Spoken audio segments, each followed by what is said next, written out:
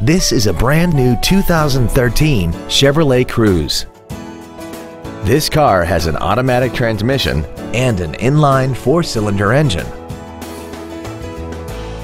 Features include an intercooled turbocharger, aluminum wheels, cruise control, leather and alloy steering wheel trim, an independent rear suspension, an engine immobilizer theft deterrent system, 12 volt power outlets, traction control, air conditioning, and XM satellite radio, which streams commercial-free music, news, sports, and more. Stop by today and test drive this automobile for yourself. Blossom Chevrolet is located at 1800 North Shadeland Avenue in Indianapolis. Our goal is to exceed all of your expectations to ensure that you'll return for future visits.